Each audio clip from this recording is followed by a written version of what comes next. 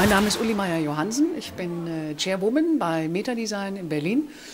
Wir sind eine Agentur, die Corporate Identity und Corporate Design Prozesse macht und äh, uns seit vielen Jahren schon mit dem Thema Multisense äh, auseinandersetzt und äh, da auch viele Projekte schon initialisiert haben. Ja, eigentlich ist es ganz simpel, mit allen Sinnen. Auf alle Sinne eingehen und diese Sinne äh, so bündeln, dass ein Erlebnis herauskommt. Also es geht ja immer um das Erlebnis was wir, inzwischen designen wir alles, also es darf, wir wollen es nicht mehr dem Zufall überlassen, Unternehmen wollen es nicht dem Zufall überlassen, Produkte sollen nicht dem Zufall überlassen werden, wenn sie am Markt sind. Insofern versuchen wir herauszukristallisieren, was macht das Erlebnis aus, also wie konfiguriert es sich vom Produkt aus, von der Dienstleistung? Und äh, wo können wir ähm, von, ausgehend von den Dingen, die wir eben drucken oder produzieren, äh, wo können wir mehrere Dimensionen ähm, nutzen. Also wie, wie, wie, klingt die Marke, wie schmeckt sie, äh, wie riecht sie, wie fühlt sie sich an und in welchem Raum bewege ich mich. Bei Audi war es natürlich ähm, relativ naheliegend, dass äh, die Produkte oder dass man sich mit dem Produkt Auto sehr intensiv auch mit anderen Sinnen auseinandersetzen muss. Also die Produktdesigner, es war klar, wie klingt der Motor, äh, wie klingt der Blinker, wie riecht das äh, so. Das ist relativ naheliegend.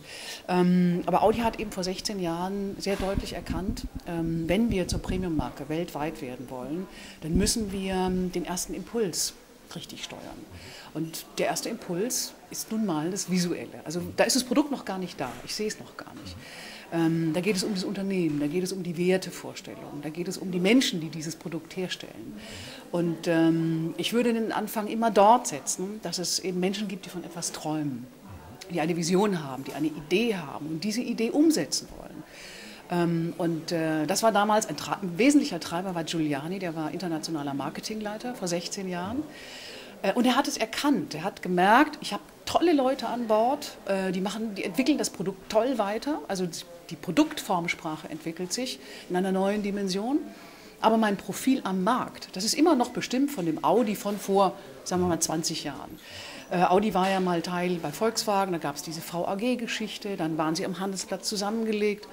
Ähm, und da muss man schon auch sagen, Piech hat damals sehr deutlich gesagt, diese beiden Produkte begrenzen sich, wenn sie gemeinsam an einem Handelsplatz sind.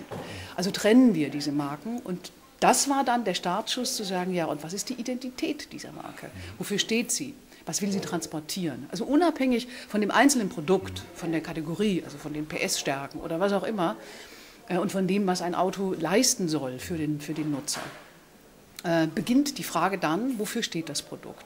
Was soll es ausstrahlen? Was ist es für ein Selbstverständnis? Letzten Endes, was sind es für Menschen, die diese Produkte herstellen?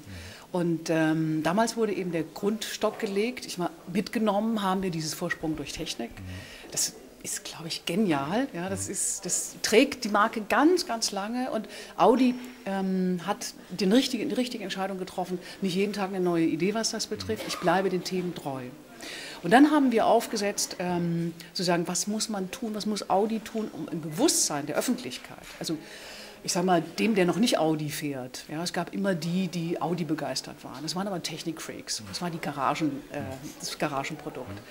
Ähm, also ich muss, ich muss Menschen ansprechen, die sich nicht mit dem Quattro und der Technik und Aluminium äh, Space Frame auseinandersetzen, sondern ich muss die anders erreichen. Und äh, dazu brauche ich, wie sieht die Broschüre aus, wie sieht die Anzeige aus, wie fühlt sich das an, wenn ich beim Händler bin, äh, wie kommuniziert der Konzern, wovon bin ich Teil von, wie sieht es aus, wenn ich zu Audi komme. Damals, vor 16 Jahren, haben unsere ersten äh, Meetings tatsächlich in einer Baracke stattgefunden. Ähm, insofern hat Audi einen unglaublichen Entwicklungsprozess gemacht. Und meiner Meinung nach hat es ganz viel damit zu tun, dass sie ihre Werte beschrieben haben, dass sie diese Werte, wofür soll die Marke stehen, in alle Dimensionen übersetzt haben. Also das Thema heute ist es natürlich Expressivität ähm, und äh, Qualität natürlich. Wie werden die Dinge übertragen? Wir haben dann versucht, ähm, das in eine Bildsprache zu übersetzen. Also insofern ganz nah von dem, was der Spitzer auch sagte. Ähm, das genügt nicht nur, einen Begriff zu benennen. Sie müssen ihn, eigentlich müssen Sie ihn sehen, hören, fühlen, schmecken, riechen. Das heißt, wir müssen für die Werte einen Raum schaffen, damit Menschen sie anders lernen können als nur mit der, sagen wir mal, mit der rationalen Dimension. Und das hat Audi damals gemacht. Natürlich heute, heute kann man das, äh, ich sag mal, relativ geschlossen erzählen. Es war ein langer Weg. Es war, ja, nach Popper, wir irren uns empor, viele Tests, viel ausprobieren, viel verbessern, viel optimieren, äh, sehr viel hinschauen. Entspricht das unserem Traum? Entspricht das der Idee? Noch nicht? Okay, nochmal, nochmal neu. Ähm, und ähm, das war damals der Anfang. Aber ein entscheidender Puls war eben dieser Marke, außer dem Produkt, dem Unternehmen, einen Auftritt zu verleihen, der diesem Selbstverständnis des Unternehmens wie dem Produkt auch entspricht. Das war ein Startschuss damals. Wir haben seit 16 Jahren den gleichen Ansprechpartner. Das ist unser großes Glück. Das ist sehr selten, dass man in Unternehmen, dass der Marketingleiter oder der Kommunikationschef oder wer auch immer das ist oder der Vertriebschef, bei dem wir angebunden sind, dass der A eine Fachkompetenz hat. Also Herr Riedelberger ähm, hat ja mal richtig Satz gelernt, Bleisatz. Ja, und aus diesem und die Marke, sich ganz tief in diese Marke hineinfühlen, sie verstehen, verstehen wollen. Das passiert eben nicht ja, in dem Moment. Das ist etwas, ähm, da braucht man auch Jahre, man braucht Zeit. Und ich glaube, das müssen die Unternehmen wieder realisieren. Wenn sie etwas Konstantes aufbauen wollen, brauchen sie Menschen, die diese Konstanz vorantreiben. Und dann ist es auch wiederum so, dass ein Winterkorn oder wer auch immer kommt, sich dem auch zuordnet. Ich würde nicht sagen unterordnen. Es braucht diese Menschen, um neue Impulse zu setzen. Aber es braucht genauso die Verankerung, die sagt, und das ist unser Selbstverständnis und dieses trägt uns. Und das verändern wir jetzt nicht. Weil wenn Sie äh, das, die Basis verändern, ja, dann sind Unternehmen nicht mehr wiedererkennbar. Das heißt, sie verspielen unglaublich viel Markenkapital. Wir haben in den letzten, also Audi hat es gemerkt, ja, in den Analysen, es gibt ja ganz viele Tests und Befragungen und Automotorsport befragt. Und wir haben gemerkt, äh, Audi Feedback hat die treuesten Fahrer. Ja, und mhm. sie hat auch genau die Zielgruppe erreicht. Also wenn, es, es passiert relativ häufig, dass wenn wir in Unternehmen sind und wir haben Vorstandstermine, ein Vorstand ist immer dabei, der Audi fährt und der begeistert ist. Ähm, und ähm, sie haben auf der anderen Seite aber eben auch gemerkt, dass über die Werbung haben sie ein sehr aggressives Potenzial bekommen.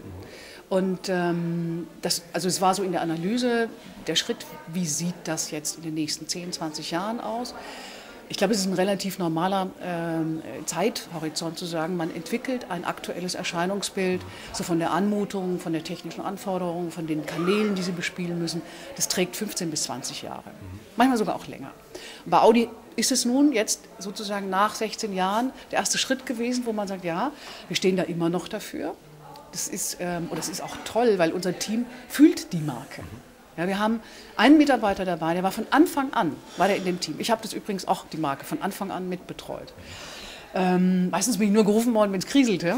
Aber diesmal durfte ich auch ähm, den nächsten Schritt mitgestalten und das ist natürlich ganz großartig.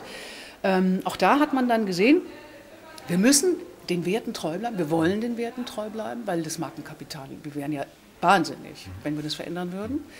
Ähm, wir müssen sie aber weiterentwickeln. Und dann haben wir die Marke weicher gemacht. Sie ist in ihrem gesamten Auftritt weicher geworden. Wir wollten aber diese, ähm, Audi steht ja für Progressivität und diese Progressivität darf aber nicht aggressiv werden.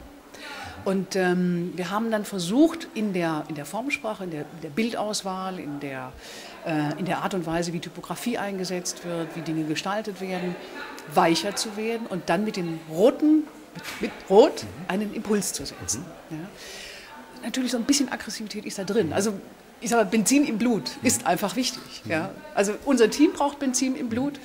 Äh, und das merkt man auch, wenn man da hinkommt. Die Leute lieben ihr Produkt. Mhm. Und das ist, finde ich, immer noch die tollste Voraussetzung. Musik